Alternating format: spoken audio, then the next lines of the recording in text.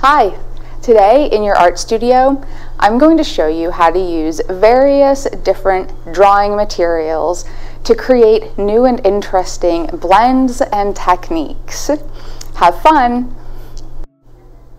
Today we will learn some techniques with regular pencil, then we have a sharpener and an eraser, crayons, the old classic, another classic some markers, both thick and thin point, colored pencils,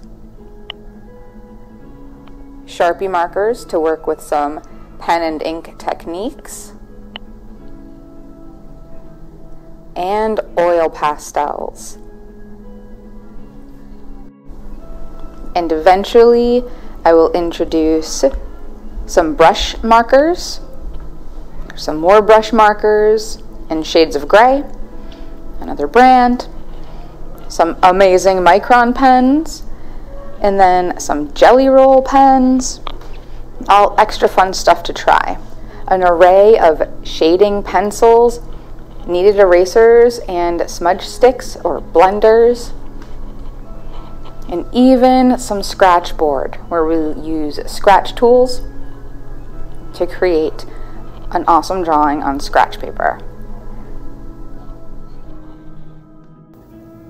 We begin with a pencil, the old classic and the start of pretty much everything. In terms of erasers, I like to use an art eraser because the pencil kind that comes on the end is typically junky. With pencil, we have all sorts of options just with this one tool. I'm going to begin using the point of the pencil, which is great for detail and line work.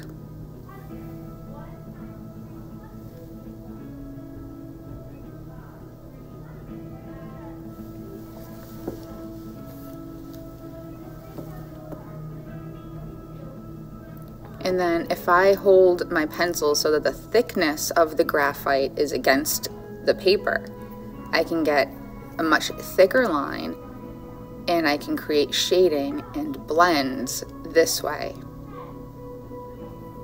It allows shaded areas to blend together more neatly and you can also create a fade within one pencil line, like here. You can see how in that one single line, it fades from dark at the point to where it's lighter at the edge of the stroke. Crayons! The good old favorite, but they are a valuable art supply. We can still use them even though we are not little kids anymore Crayons are a really great tool for many things, so we're doing a little refresher. With crayon, your pressure matters a lot. If you push down really forcefully, an area will then be coated with dark color crayon, but you can't add any more over the top of it later on. So if you want to blend, you have to push down lightly enough that you leave a little bit of white paper showing through so you can add another color over the top later on. Markers! We have thin and thick Crayola regular watercolor markers here. And again, you can use these in many different ways, so play around and experiment. With the thicker marker, you can get a pretty thin line if you use just the point. And if you hold it on the side, you get a much thicker version of that same color.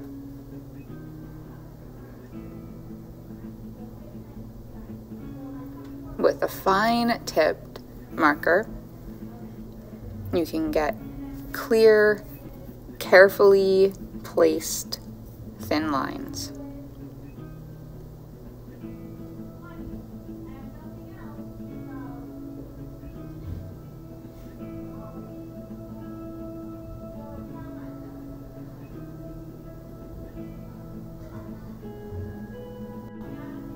Next we'll talk about colored pencils.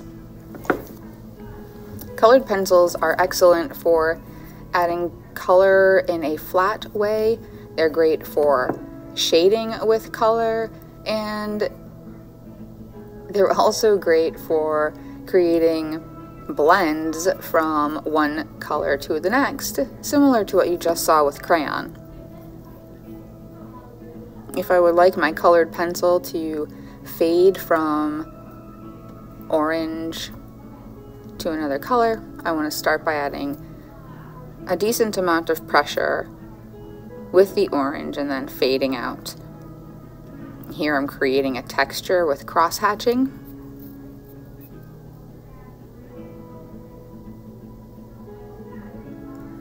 And now back to my fade. I'm having my orange fade into this nice red color.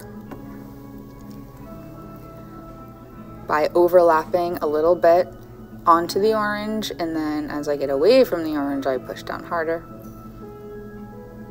Swirly texture.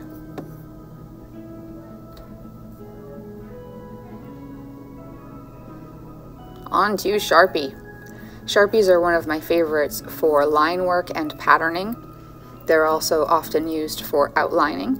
If you'd like to outline your whole name, you go right ahead. Otherwise, use them for patterning, detailing, and whatever else you think they're appropriate for.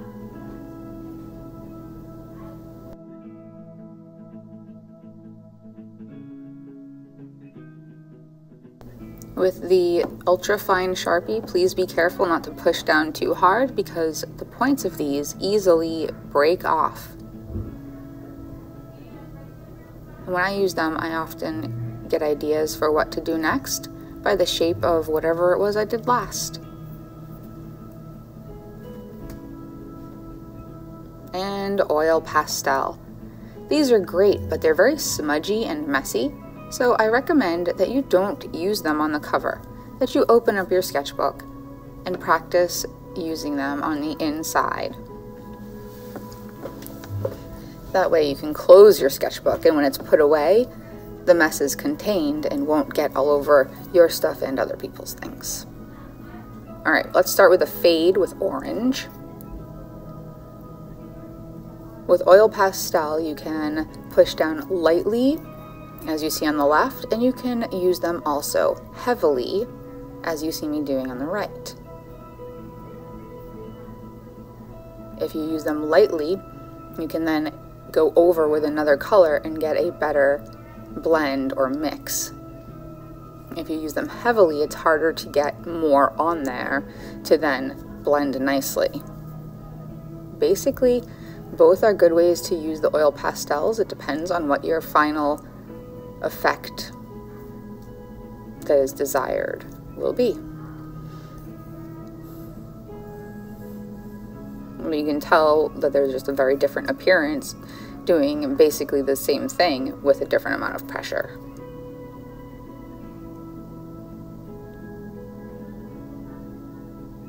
You can get fun textures by going over the top.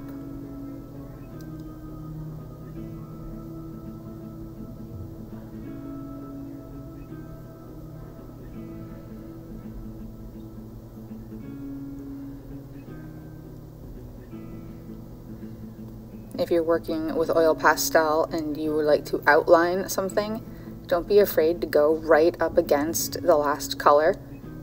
They do smudge together, but that's part of the overall look of oil pastel, and it's acceptable and okay if it's a little bit smudgy. They're intended to look like paint, and they do when they're worked with that way.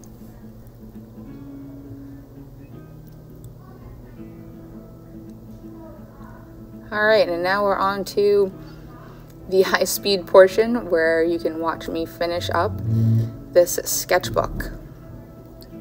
Rather, you can watch me finish up this sketchbook cover using all of the materials that we just discussed.